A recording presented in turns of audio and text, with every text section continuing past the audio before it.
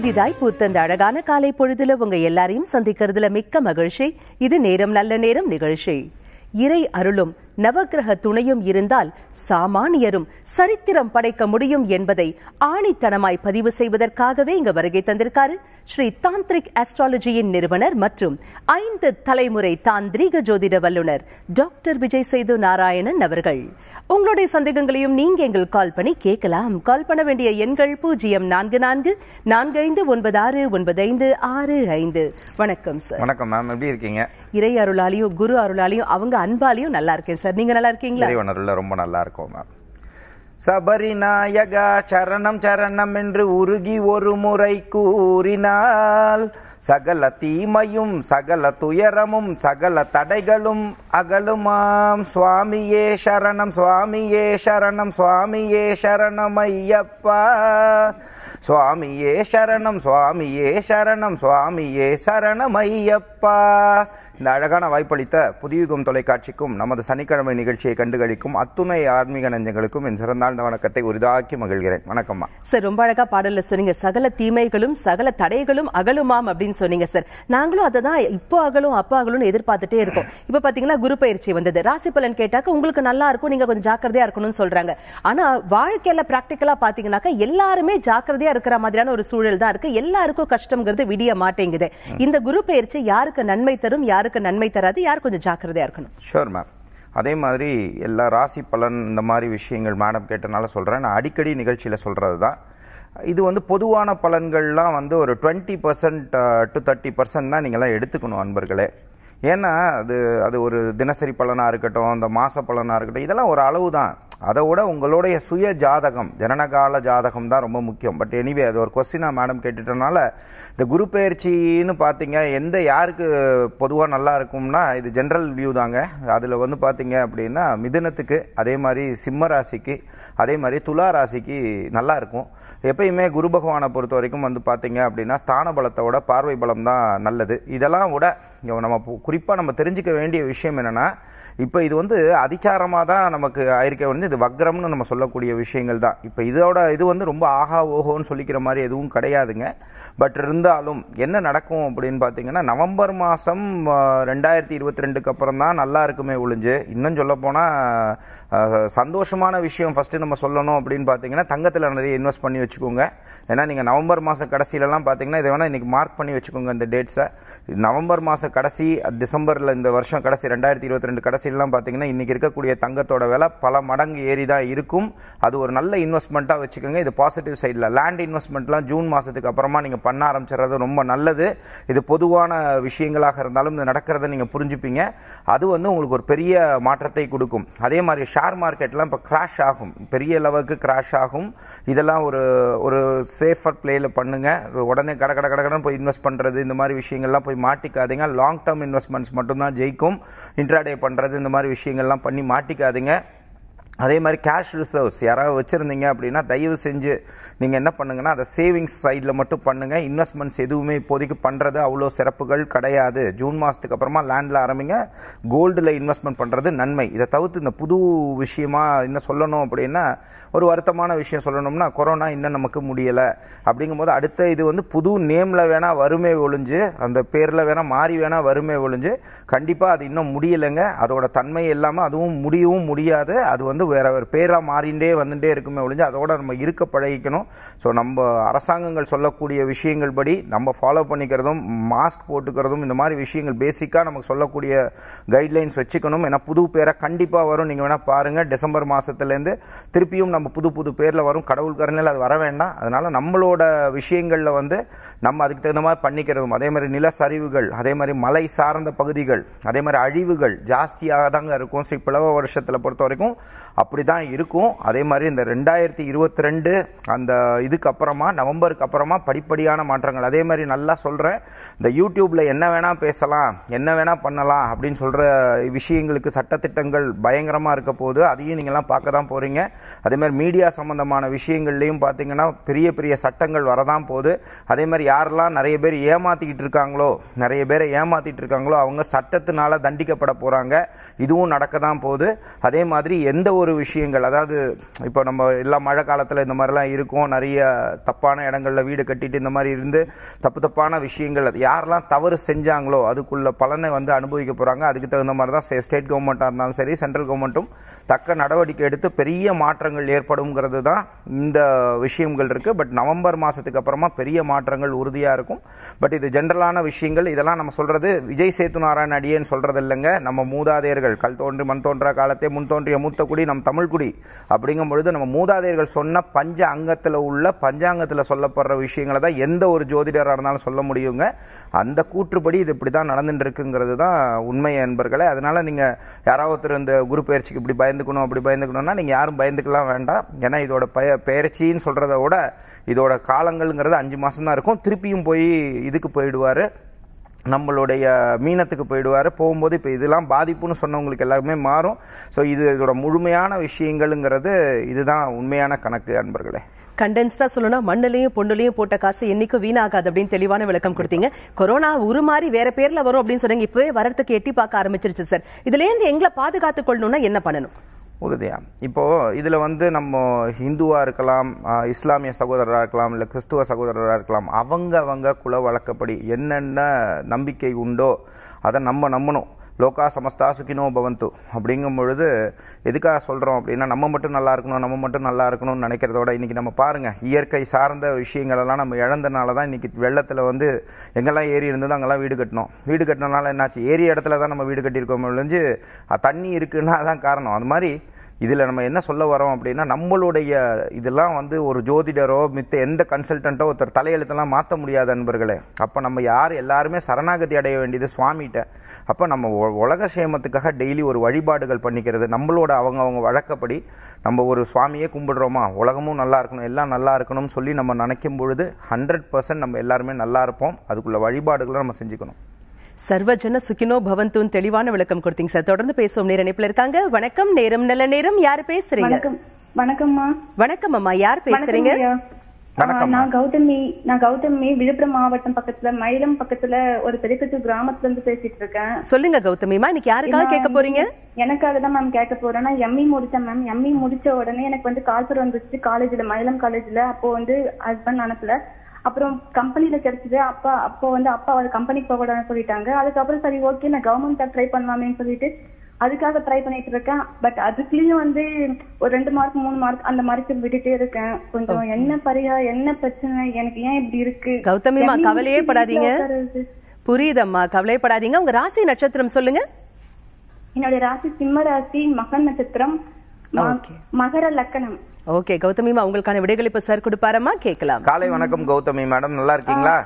நல்லா இருக்கீங்க சார் சந்தோஷமா அம்மா நீங்க நல்லா இருப்பீங்கம்மா. கவலைப்பட வேணாம் நீங்க உங்களை பொறுத்த வரைக்கும் உங்களுக்கு வாழ்க்கையை மிகப்பெரிய மாற்றத்தை கொடுக்க போறது திண்டுக்கரை காளியம்மன். சரியா? பக்கத்துல வக்ரகாளி அம்மன் இருக்காங்க இல்லையா? அந்த கோயிலுக்கு போயிட்டு நீங்க வழிபாடுகள் பண்ணிட்டே வாங்க. அதே மாதிரி யமகண்ட நேரத்துல நீங்க செய்ய வேண்டியது கையில கொஞ்சோண்டு கல்லுப்போட சேர்த்து நீங்க அதோட சேர்த்து என்ன பண்ணுங்க? கொஞ்சோண்டு மஞ்சள் போட்டுக்கோங்கம்மா. இதுல நீங்க என்ன செய்யணும்னா தலையை இருபத்தி ஏழு தடவை கிளாக் வைஸ்ல சுத்திக்கோங்கம்மா. சுத்திட்டு வாஷ் பேசின்ல போட்டுட்டே வாங்க. இதோட சேர்த்து நீங்க என்ன செஞ்சுக்கோங்க அப்படின்னு பாத்தீங்கன்னா ஞாயிற்றுக்கிழமை வரக்கூடிய ராகுகால நேரத்துல கடைசியா அரை மணி நேரத்துல சிவபெருமானை நினைச்சுக்கிறதும் அதே மாதிரி துர்காதேவியை நினைச்சுக்கிறதும் உங்களுக்கு பெரிய மாற்றத்தை கொடுக்குமா நீங்களே உறுதியா இதே நிகழ்ச்சிக்கு சனிக்கிழமை நிகழ்ச்சிக்கு கால் பண்ணுவீங்க. பிப்ரவரி மாச வாக்குல என்னுடைய வாழ்க்கை மாறிடுச்சுன்னா அந்த புகழ் இறைவனுக்கே போய் சேரும். நன்றிமா சார் நல்லது செஞ்சா நல்லா இருப்போம். கெட்டது செஞ்சா நல்லா இருக்க மாட்டோம். இதான் பேசிக் கர்மா தியரி இல்லைங்களா? அப்ப ஏன் சார் நல்லது செய்யறவங்க வந்து ஏமாற்றப்படுறாங்க பழி சொல்லுக்கு ஆளாகிறாங்க? இந்த ஏமாற்றுபவர்களின் ஜாதகம் எப்படி இருக்கும்? ஏமாறுபவர்களின் ஜாதகம் எப்படி இருக்கும்? ஷுவர் மேம் இப்போ இது ஒரு நல்ல கேள்விங்க. அதாவது நல்லவங்கெல்லாம் கஷ்டப்படுறாங்களே கெட்டவங்கெல்லாம் பண்ணுறாங்களே அப்படின்னா அது ஒரு வருத்தமான விஷயந்தான் அதில் இல்லைன்னா சொல்லவே முடியாது. பட் இதுக்கு இதுக்கு தான் நான் அடிக்கடி சொல்கிறது தாங்க இந்த நம்ம பிறவி எடுத்ததெல்லாம் வந்து பார்த்திங்கன்னா சஞ்சித கர்மா ஃபேக்டர்ஸ் இருக்குது சஞ்சித கர்மானா நம்ம செய்த வினை தான். செய்த வினை செய்தவனுக்கே. இதில் நம்ம ஒரு சின்ன விஷயம் சொல்லணும்னா நம்ம நினச்சிட்டு இருக்கோம். இன்றைக்கி வந்து நம்ம நல்லவங்களா இருக்கோம். சுவாமியை உருகி தருகி கும்பிடுறோம். கும்பிட்டும் நமக்கு கஷ்டம் வருது அப்படின்னா நீங்கள் உள்ளுக்குள்ளே இது ஆராய்ச்சி ரீதியாக சொல்கிறேன் அந்த அது ஒரு பீரியட் ஆஃப் டைம் தாங்க அப்படி இருக்கும்.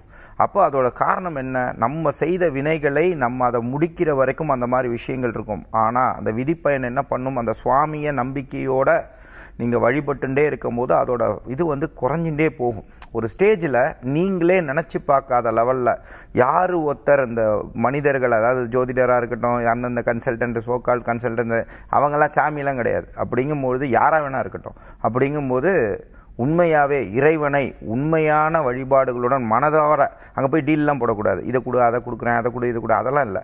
வேண்டுதல் வேண்டாமை இலானடி சேர்ந்தாருக்கு யாண்டும் இடும்பையில் அதனால் சுவாமியை மனசார கும்பிட்டுட்டே வரும்பொழுது உங்கள் கர்ம வினை அழியும் அழிந்தே தீரும்.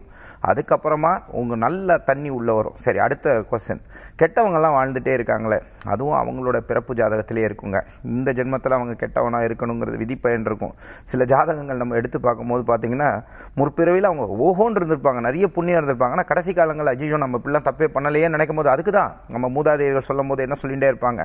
நிறைய விஷயங்கள் நம்ம செய்யும் பொழுது கடைசி காலங்களில் பாருங்கள் அவங்களுக்கு ஏதாவது ஆசை இருக்கா ஆசை இருக்கா ஆசை இருக்கான்னு கேட்குறாங்கன்னா அந்த ஆசை தாங்க எல்லாத்துக்குமே காரணம். அது பொதுவாக ஞானிகள் பொதுவாக பொத்தம் பொதுவாக சொல்லிட்டு போயிடுவாங்க. அப்படி அல்ல.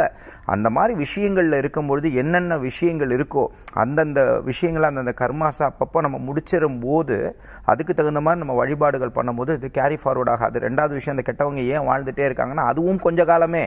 அப்போ கொஞ்சம் அடித்து விட்டுட்டு இருப்பாங்க சில பேர். இதை பண்ணால் அது மாறும் அது மாதிரி அதெல்லாம் பொய்யுங்க அப்படிங்கும்பொழுது இது உண்மையான விஷயம் என்ன எது பண்ணால் எது மாறும்?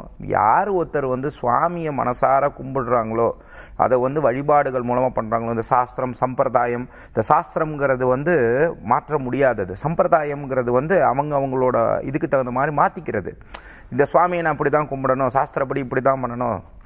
சாஸ்திரத்தை சேஞ்ச் பண்ண முடியாது. சம்பிரதாயம் எப்படி வேணால் மாற்றிக்கலாம் அப்படிங்கும்பொழுது சுவாமியை நீங்கள் காளியாகவும் கும்பிடலாம் அம்பாலமும் கும்பிடலாம் நீங்கள் எப்படி பாவனை பண்ணாலும் கும்பிடலாம். பட் அதோட கரு யார்? சுவாமி. அப்போ அந்த சுவாமியை உங்கள் ஜாதக ரீதியாக நீங்கள் பார்த்துட்டு அதுக்கு தகுந்த மாதிரி வழிபாடுகள் பண்ணிக்கோங்க. இதுக்காக நீங்கள் கோடி கோடியாக நீங்கள் காசிக்கு போனேன் ராமேஸ்வரத்துக்கு போனேன் அங்கே போனேன் இங்கே போனேன் யாத்திரை போனேன். அதில் இல்லை. நீங்கள் எங்கே தான் கோடி ரூபா செலவு பண்ணி ஒருத்தர் கூட்டிகிட்டு போனாலும் அவங்க கூட நீங்கள் ட்ராவல் பண்ணினாலும் நீங்கள் அண்டத்தில் இருக்கும் ஈசனை நீங்கள் பிண்டத்தில் உணரும் வரைக்கும் அது பரிகாரம் ஆகாது. அப்படிங்கும்பொழுது அதை நீங்கள் நல்லா புரிஞ்சுண்டு அதை நீங்கள் நான் என்னைக்கு நீங்கள் புரிஞ்சுக்கிறீங்களோ அகம் பிரம்மாஸ்மி அங்கிங்கனாதபடி எங்கும் பிரகாசமாய் ஆனந்த ரூபமாக அருளோடு இருக்கார். எங்கே இருக்கார்? தூண்லையும் இருக்கார் துரும்புலையும் இருக்கார் நம்ம ஆற்றுலையும் இருக்கார் சுவாமி கோயிலையும் இருக்கார் எல்லா இடத்துலையும் இருக்கார். அவரை நீங்கள் அந்த நீக்கமர இருந்த இறைவனை மனசார நீங்கள் நினச்சிக்கும் பொழுது எப்பேற்பட்ட துன்பங்களில் இருக்கிறவங்களுக்கான நிகழ்ச்சி தான் இது. அதுலேருந்து நீங்கள் கண்டிப்பாக உறுதியாக வெளியே வருவீங்க. அதே மாதிரி இந்த சும்மா அந்த போலித்தனமாக சும்மா அடிச்சு விட்டுட்டு இருக்கவங்களை பற்றிலாம் கவலைப்படாதீங்க. அவங்கெல்லாம் வந்து காணல் நீர் மாதிரி ஒரு ஸ்டேஜில் காணா போயிடுவாங்க அதுதான் உண்மை. Sir prevention is better than cure அப்படின்னு சொல்லுவாங்க இல்லைங்களா? இப்ப ஜாதக ரீதியாக இந்த கிரகம் இந்த இடத்துல இருந்ததுனாக்க நீ நிச்சயமா ஏமாற்றப்படுவ தம்பி அப்படின்னு உங்களால சொல்ல முடியுமா? உறுதியா? அதுக்கு காரணம் என்னென்னா இப்போ மேடமே ஏமாற்றப்படும் அப்படின்னு வரும்போது எதிரி துரோகி வழுக்கும் பொழுது சிம்பிள் தாங்க. இப்போ ஒரு செட் ஆஃப் பிளானட்ஸ்ன்னு இருக்குது ஒரு பாசிட்டிவாக அந்த ஜாதகத்துக்கு. இதுக்காக குரு பகவான் எல்லாத்துக்கும் கொடுத்துருவார் சுக்கர பகவான் எல்லாருக்கும் கொடுத்துருவார். அப்படியெல்லாம் கணக்கு கிடையாதுங்க. இதெல்லாம் நீங்கள் பேசிக் தியரிக்குள்ளே போகாதீங்க. இந்த பொதுவான பலனுக்குள்ளே போய் மாட்டிக்காதீங்க அன்பர்கள். அதுக்கு தான் நான் சொல்கிறேன் அப்படிங்கும்பொழுது அந்த சுய ஜாதகத்தில் ஒருவேளை அவங்க வந்து அசுர கு குடும்பத்தில் உள்ள ஜாதக குடும்பமாக இருந்தால் அதுக்குன்னு அசுர குடும்பம்னா நீங்கள் தப்பாலாம் எடுத்துக்கக்கூடாது அந்த மாதிரி பிளானட்டோரியல் பொசிஷன்ஸில் இருக்கிறவங்களுக்கு அதுக்கு தகுந்த மாதிரி ஆப்போசிட் பிளானட்ஸ்னு சில கணக்கு இருக்கும். அதில் ஆறாம் பாவாதிபதின்னு சொல்லக்கூடியது. அப்போ அந்த நேரத்தில் என்னாகும்? சத்ருக்கள். சத்ருக்கள்னால் மறைந்திருந்து சத்ருக்கள். அதே மாதிரி எட்டாம் பாவம். வரும்பொழுது அந்த காலங்கள் நடக்கும் பொழுது அந்த அதோட தொடர்புகளில் வரும்பொழுது என்ன ஆகும்னா அந்த டயத்தில் ஒரு உழுக்கு உழுக்கும். அப்போ தான் இந்த டயத்தில் தான் என்ன ஆகும்னா அந்த துரோகிகள்லாம் எங்கே இருக்காங்களோ எல்லாம் லைனில் வருவாங்க. இதை நீங்கள் ஒரு பாசிட்டிவ் சைடில் எடுத்துக்கணும்னா அந்த டயத்தில் இந்த மாதிரி வருதுன்னா அந்த தெய்வ வழிபாடு பண்ணிகிட்டே இருக்கிறவங்களுக்கு அந்த இன்ஸ்டிங்சுவல் பவர்ஸ் கிடச்சிரும். நீங்கள் வந்து அது எப்படிப்பட்ட இதாக இருந்தாலும் அந்த இன்ஸ்டிங்சுவல் மனசு சொல்லும். ஏதோ நமக்கு கெட்டது நடக்க போகுதுன்னு தோணும். அப்போ நீங்கள் கரெக்டான நபரை நீங்கள் தேர்ந்தெடுங்க. உங்களுடைய குருமார்கள் இருந்தாங்கன்னா அவங்கள போய் பாருங்கள் அதுக்குள்ள வழிபாடுகளை நீங்கள் நல்லா தெரிஞ்சுக்கோங்க. அதில் நல்ல ஜோதிடரை போய் பார்த்து அதுக்குள்ள வழிபாடுகளை தெரிஞ்சுக்கோங்க. தெரிஞ்சுக்கும் போது அதுலேருந்து வெளியே வந்துடலாம் பட் இதோட மேனமோட கணக்குப்படுது அதுவும் ஜாதகத்தில் உண்டுங்க. இந்த மாதிரி கணக்குகள் இருக்குது அதே மாதிரி சில நேரங்களில் என்ன ஆகும்னா அஸ்தமன ஜாதகம்னு சொல்லியிருக்கும். அவங்கெல்லாம் பார்த்தீங்கன்னா எதை கண்டாலும் பயம் அவங்களுக்கு. சரிங்களா? அந்த மாதிரி விஷயங்களில் வரும்பொழுதும் அதையும் சுய ஜாதகத்தையும் நீங்கள் பார்த்துட்டு அதுக்குள்ள வழிபாடுகளை மட்டும் தெரிஞ்சுட்டு சூட்சமமாக தெரிஞ்சு நீங்கள் பண்ணும்போது கண்டிப்பாக இந்த மாதிரி பிரச்சனைகள்லேருந்து நீங்கள் வெளியே வந்துடுவீங்க சார் நீங்க தாந்திரிக் ஆஸ்ட்ராலஜி எக்ஸ்பர்ட் இல்லைங்களா? அதனால இந்த கேள்வி நான் உங்ககிட்ட கேட்கிறேன். இப்போ நீங்க சொன்னீங்களே ஒரு மனிதனுக்கு உழுக்கிற நேரம் அப்படின்னு சொல்லி கஷ்டங்கள் வந்து சூழக்கூடிய நேரம். அந்த நேரத்துல எங்களை ஸ்ட்ராங்கா பிடிச்சு வச்சுக்கிற மாதிரியான ஒரு தாந்திரிக ஜோதிட பரிகாரம் ஒன்று சொல்லுங்க சார் ஷூர் மேம் இப்போ இந்த மாதிரி விஷயங்களில் வரும்போது நான் அடிக்கடி டெய்லி நிகழ்ச்சியிலையும் நான் சொல்கிறது தாங்க இதை பொறுத்த வரைக்கும் முதல்ல உங்கள் சுய ஜாதகத்தை தயவு செஞ்சு பார்த்துக்கோங்க. இது நீங்கள் இங்கே போங்க அங்கே வாங்க ஏன்ட்ட வாங்க அதெல்லாம் நான் சொல்லவே இல்லை. உங்களுக்கு பிடிச்ச ஜோதிடத்தை நீங்கள் போய் பார்த்துக்கோங்க. அப்போ அந்த மாதிரி விஷயங்களில் வரும்பொழுது யார் உங்களுக்கு பாதிப்பை கொடுக்குறாங்கன்றதை பார்த்துட்டு அந்த கிரக அரசரை கும்பிடக்கூடாது. கிரக அரசர்னா கிரகங்களை தான் கிரக அரசர்னு சொல்கிறேன் அப்போ அந்த கிரகங்களை நீங்கள் வழிபடக்கூடாது. அவங்களோட தேவதா அதே மாதிரி அவங்களுக்கு இன்னொரு தேவதா உண்டு. சரியா? இந்த தேவதா யாருன்றதையும் நீங்கள் பேசிக்காக தெரிஞ்சுட்டு அந்த வழிபாடுகளை அந்த கிரகங்கள் யார் பிளானட் கொடுக்குறாங்களோ பிரச்சனை கொடுக்குறாங்களோ அந்த வழிபாடையும் பண்ணிவிட்டு முதல்ல நீங்கள் செய்ய வேண்டியது விநாயகரோட வழிபாடு. அதே மாதிரி எந்த தெய்வத்தை கும்பிட்டாலும் குலதெய்வ வழிபாடு. அது மாரியாக இருக்கலாம் காளியாக இருக்கலாம் இல்லை ஒரு கிராம தேவதா அப்படிலாம் நினைக்கக்கூடாது. நம்ம குலத்தை காத்து நிற்கக்கூடிய தெய்வம் நம் குலதெய்வம். அப்போ அந்த குலதெய்வத்தோட வழிபாடையும் பண்ணிவிட்டு அதுக்கப்புறமா நீங்கள் செய்ய வேண்டியது என்ன பண்ணுங்கன்னா உங்கள் வீட்டில் விநாயகரோட திருவுருவப்படம் இருக்கும் பட்சத்தில் கண்டிப்பாக எல்லா இந்து தர்ம இதில் இருக்கிறவங்களும் பார்க்குறோம் அவங்க வீட்டில் இருக்கும். இதே மாதிரி நிறைய வேற்று மத நண்பர்களும் இதை பார்க்குறீங்க அது எனக்கு தெரியும் நல்லா தெரியும். அப்படிங்கும்பொழுது அவங்க அவங்க வழக்கத்துக்கு என்ன தெய்வத்தை நீங்கள் நம்புகிறீங்களோ நீங்கள் எந்த அளவுக்கு நம்புகிறீங்களோ அந்த மாதிரி விஷயங்கள்லாம் அவங்கள உற்று நோக்கி பாருங்கள் அந்த உற்று நோக்கி பார்த்துட்டு வேறு எதுவுமே நீங்கள் வேண்ட வேண்டாம் அப்போது இது நம்ம ஹிந்து தர்மத்தில் இருக்கவங்களுக்கு சொல்லிடுவோம் ஃபஸ்ட்டு அந்த மாதிரி விஷயங்களில் இருக்கிறவங்க நீங்கள் ஃபஸ்ட்டு நீங்கள் செய்ய வேண்டிய விஷயம் என்னென்னா அவரை மனசார நினச்சிக்கிறது. அதுக்கப்புறமா நீங்கள் கையில் வந்து கொஞ்சோண்டு நீங்கள் விளக்கெண்ணையும் அதே மாதிரி வேப்பெண்ணையும் கையில் உள்ளங்கையில் லைட்டாக தேய்ச்சிக்க வேண்டியது. அதே மாதிரி காலில் உள்ளங்காலில் வந்து விளக்கெண்ணையும் வேப்பெண்ணையும் தேய்ச்சிண்டு ஒரு பத்து நிமிஷம் பேசாமல் உட்காந்துக்கோங்க. பத்து நிமிஷம் பேசாமல் உட்காந்துட்டு இது எடுத்துக்கோங்க. பச்சை கற்பூரம் எடுத்துக்கோங்க. பச்சை கற்பூரத்தை உங்கள் ஆற்றுக்கு உங்கள் முன்னாடி இதில் நீங்கள் வடக்கில் ஏற்றணுமா தெற்கில் ஏற்றணுமா தயவு செஞ்சு கமெண்ட் பாக்ஸில் கேட்காதீங்க. எந்த திசையில் வேணால் ஏற்றலாம் அதுக்கு திக்கும் கிடையாது இதுவும் கிடையாது. ஸோ எந்த இடத்துல உங்களால் ஏற்ற முடியுமோ நேராக உட்காந்துட்டு சுவாமியை பார்த்துட்டு இங்கே உட்காந்துக்கோங்க அதை அப்படியே பாருங்கள் ஒரு ஜஸ்ட்டு நீங்கள் பார்த்துட்டே இருங்க. பார்த்துட்டே இருந்துட்டு அதுக்கப்புறமா நீங்கள் என்ன பண்ணுங்கன்னா போகும்போது வீட்டுக்கு அது பா டாய்லெட்லேயோ பாத்ரூமில் போயிட்டு கொஞ்சோண்டு கல்லுப்பு எடுத்துக்கோங்க. அதை வாஷ் பேசினில் தட்டி இதில் எடுத்துக்கோங்க கப்பில் எடுத்துக்கோங்க. அது லூக்வாம் வாட்டராக இருக்கட்டும் லைக் ஒரு கொஞ்சோண்டு சுடு தண்ணியாக இருக்கட்டும். அதை போட்டுட்டு உங்களோட ஜெனிட்டல் ஆர்கன்ஸ் அதாவது அதை கழிவு பாதைகளில் போகக்கூடிய இதையும் அதே மாதிரி காலையும் கழுவிட்டு நல்லா கழுவிட்டு தொடச்சிட்டு படுங்க. இதை நீங்கள் செஞ்சு செஞ்சு பாருங்கள் இதை ரெகுலராக செஞ்சு பாருங்கள் அதே மாதிரி உங்கள் வீட்டில் வந்து எந்தெந்த மூலைகள் இதை நீங்கள் உடனே வாஸ்துன்னு நினச்சிக்காதீங்க. உடனே எல்லா எல்லா திக்குலேயும் கொஞ்சோண்டு கொஞ்சோண்டு கல்லுப்பு போட்டுட்டு படுத்துருங்க. படுத்துட்டு மறுநாள் காலையில் இதை எடுத்துகிட்டு நீங்கள் எடுத்துருங்க. இது என்ன பண்ணுன்னா அந்த நெகட்டிவ் எனர்ஜிஸோட தன்மையை வந்து குறைச்சிரும். அதே மாதிரி நீங்கள் அந்த ஜாதகத்தையும் பார்த்துட்டு இந்த வழிபாடுகளை நீங்கள் தொடர்ந்து செய்யும் பொழுது அந்த வீரியத்துக்கு தகுந்த மாதிரி நீங்கள் செய்யும் பொழுது இதை தொடர்ந்து செஞ்சீங்கன்னா கண்டிப்பாக ஏமாறுறதுலேருந்து நீங்கள் தப்பிச்சுக்கலாம் நண்பர்களே தாந்திரிக ஜோதிடம் குறித்த நிறைய விளக்கங்கள் பகிர்ந்துட்டீங்க சார். மிக்க நன்றி. ரொம்ப நன்றிம்மா. அதே மாதிரி வருஷா வருஷம் உங்களுக்கு எல்லாருக்குமே தெரியும். நம்ம சபரிமலை யாத்திரைக்கு போகிறவங்களுக்கு நம்ம எல்லாருக்கும் உதவி செஞ்சுட்டு இருக்கோம் அது கடமையாக செஞ்சுட்டு இருக்கோம் உதவின்னு சொல்ல மாட்டேன். அந்த மாதிரி விஷயங்கள் இந்த வருஷம் சில காரணங்களால பர்சனல் ரீசன்ஸ்னால சபரிமலைக்கு மாலை போட முடியலை. பட் இருந்தாலும் மார்ச் மாசத்துல நம்ம மலைக்கு மாலை போடுவோம். ஒருவேளை போன வருடம் அதுக்கு முன்னாடி முன்னாடி வருடத்துலேயே என் கூட வரணும்னு ஆசைப்பட்டவங்க வர்ற மாதிரி இருந்தால் அந்த டயத்தில் மணி மாலை போட்டு வரலாம். ஒருவேளை நீங்கள் பொருளாதார ரீதியாக ரொம்ப சிரமத்தில் இருக்கோங்க. எங்களால் எதுவுமே செய்ய முடியல. ஆனால் சபரிமலைக்கு போகணும்னு நினைக்கிறவங்களாக இருந்தால் இந்த வருஷமும் நான் அந்த அந்த இதை பண்ணுறோம் விருப்பமாக இருக்கிறவங்க தாராளமாக தொடர்பு கொண்டீங்கன்னா உண்மையாகவே பொருளாதார ரீதியான பிரச்சனையில் இருக்கீங்கன்னா அதுக்கான பூஜைகளுக்குள்ள விஷயங்களும் நீங்கள் ஊருக்கு போகும்போது என்னென்ன உதவிகள் செய்யணுமோ செய்யலாம். அதே மாதிரி தாந்திரிக ரீதியான சில பொருள்கள் நம்ம தரப்போகிறோம் அந்த தரப்போகிறது வந்து பார்த்தீங்க அப்படின்னா அது இலவசம் கிடையாதுங்க. அந்த பொருள் வந்து பண சம்பந்தமான விஷயங்களுக்கு உங்களுக்கு அடுத்த லெவலுக்கு கொண்டு போகும். அது மூலிகை ரீதியாகவும் சில பொருள் ரீதியான விஷயங்களும் கொடுக்குறோம். பானலிங்கம் வேணும்னு கேட்குறவங்க தாராளமாக நீங்கள் வந்து சென்னை திருச்சியில் வந்து வாங்கிக்கலாம். கொரியர் சார்ஜ் கொடுக்கணும் ஊருக்கு வெளியே அனுப்பிச்சி வச்சிடுறோம். இதோட சேர்த்து உங்களுக்கு வேணும்னா நீங்கள் வந்து ஸ்ரீதாந்திக் அஸ்ட்ராலஜின்னு சொல்லிட்டு நம்ம யூடியூப் சேனலை பார்த்தீங்கனாலும் இந்த மாதிரி நிறைய தாந்திரிக ரீதியான விஷயங்களும் கொடுக்குறோம். நண்பர்களே மிக்க நன்றி. புது யுகத்துடன் இணைந்திருங்கள் மகிழ்ந்திருங்கள்.